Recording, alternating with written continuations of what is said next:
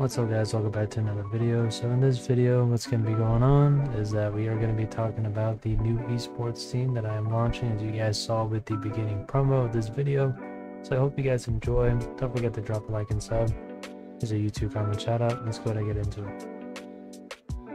Alrighty, so I'm just going to keep it pretty brief. The main uh, team like description slash uh, explanation will be on the official uh, Silence Esports channel, which you guys can find in the description starting now.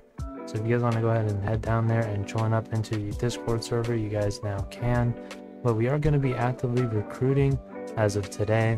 And if you guys are wondering about anything else uh, regarding like team wise, we are only doing 1v1.lol at this at the moment. But if you are a content creator for a different game, then obviously we can make an exception there as long as you meet the following requirements for whichever platform um, that you are on and all the requirements are in the discord as well which you can find there. Um, also i'm starting off with just completely fresh staff. Like i literally have not gotten anybody to work on the project yet.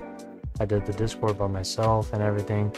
Um, so this is literally just me starting from scratch and uh, you know i'm just to be running this team for fun. Um, if we do well in tournaments we do well in tournaments. If we don't do well then we don't do well.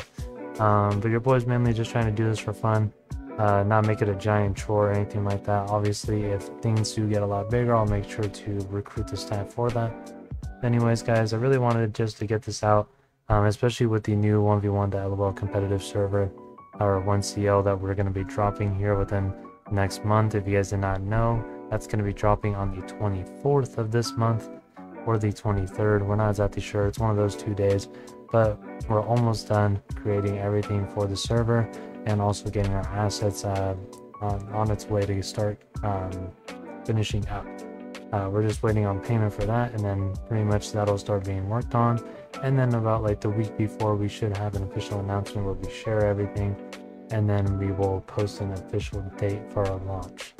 Anyways, guys, I really hope that you guys enjoyed this video. Um, like I said, I'm really going to save the in-depth explanation of roles and stuff like that for the main esports channel which once again you guys can find in the description down below. Um, you can find the YouTube channel and our Discord as well. So, anyways, if you guys enjoyed this video, don't forget to drop a like and sub, and I'll see you guys in the next one.